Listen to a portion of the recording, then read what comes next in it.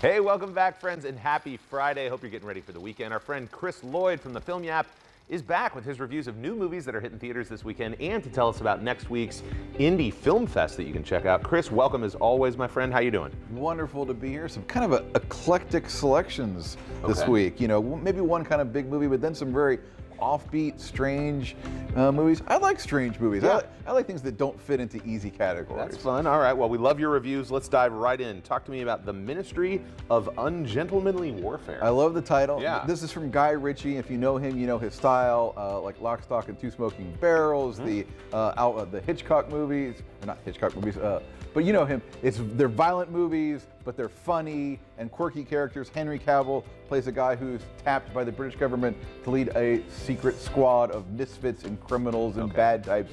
Bad guys doing good things. You know, the Dirty Dozen, Yeah. in uh, uh, Inglourious Basterds. That's the tradition of this. They're going to go to uh, uh, occupied uh, France during the uh, the war and try and do some good things. Yeah. Uh, and just a lot of fun. It's going to be uh, very, very violent from what I've heard. Okay. Uh, but very, very funny. This is getting great reviews. I think it's going to be. If, if you're just looking for a fun popcorn flick this weekend, Yeah. this is going to be your choice. All right. Talk to me about The Beast. What's that one about? Here's one of those ones doesn't fit into e- easy categories. It's like a romance, but it's also science fiction. Huh. Um, it's about uh, two people played by French star Léa Seydoux and British star Adam McKay, Yeah. who are falling in love, but in different timelines and iterations. So it's like it's Hmm. 1910. Then it's 2014. Then it's 2044, and they're like being reborn as the exact same people who keep falling for each other, but they never quite consummate the relationship. They never quite become a couple. Yeah. Um, and some creepy things are going on. In the future version, Ooh, they're undergoing these procedures to actually wipe their memories from previous lives, Wow. but things are still breaking through. Uh, long movie, two and a half hours. Really takes a long time to get going. The Okay. first, uh, I'll be honest, the first hour was pretty boring. Okay. But it picks up steam. Yeah. It becomes more empathetic Cool. in the last half. Where have I seen her before? What Oh, she's has she, the blue is the warmest color. She's been in a few American films. Okay. She's a big, big star in France. Yeah, cool. All right. Talk to us. I love this name in this next one. Sasquatch Sunset. All right, another one. Wh- What do you call this? Yes, it's Jesse Eisenberg, if you know him, Mm-hmm. uh, uh, but you won't recognize him because he's in an ape suit. It's supposed to be set in prehistoric times, and these are like precursors to human beings. Okay. And there really isn't a story. It's just about this small group of four people. He's kind of like the young Sasquatch. Okay. Um, and there's like the, the the patriarch of the group who kind of bosses them around. Yeah. And they're just going around and they're having adventures and having romances, and it's it's.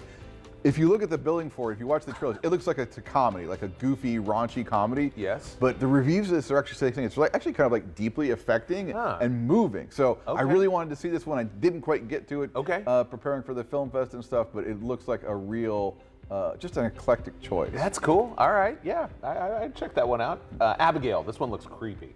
It is, but Yeah. this one here, this is another. It's actually a heist movie and a vampire horror flick. Okay, all right. so, 12-year-old girl, uh, daughter of a very, very rich guy, is being uh, kidnapped by a group of thieves who are going to hold her for ransom for 50 million dollars. Wow. But little did they know that yes, she is a Nosferatu, and she's going to start killing them. She's chasing them Mm. Yeah. instead of the other way around. Looks like a goofy fun. Uh, we'll have a review of this uh, probably up tomorrow on the Film Yap, so you can check out what our critics thought of this one. Okay, cool. Okay, big big week next week here in Indy. The Indy Film Fest coming Yes. up on the 24th through the 28th. What do you know about it? Uh, I I think they're going to have about 90 films altogether. Wow.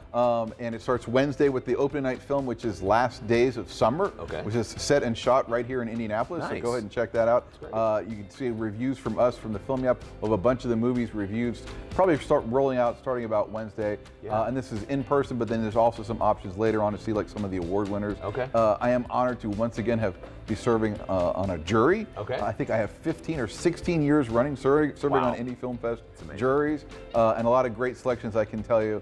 Uh, and just, you know, if you love those smaller films, Yeah. Indiana films, just the films that you don't quite see in the movie theaters, um, go, go check this out. You can see some really, really cool stuff, some gems. That's great. Any exclusive content for the Film Yap? I mean, on your website, are you interviewing any of the directors or filmmakers? We'll try to, but Okay. we, we will have reviews for uh, a bunch of the films, uh, so you can go check those out just like your normal reviews, but Yeah. tied to the Indy Film Fest. Only place you can see some of these films. Awesome. Go check it out, filmyap.substack.com. While you're there, hit that subscribe button. Chris and his team have awesome reviews and great giveaways as well throughout the year. Chris, thanks as always. Enjoy the weekend, man. My pleasure. All right, still to come, the Indianapolis Men's Chorus are going to give us a live preview of their Muppet Mania spring shows that you can check out this weekend at Marian University. Opening night is tonight. Plus, we want you to put your trivia skills to the test in today's Indy Now pop quiz. We'll be right back. Stick around.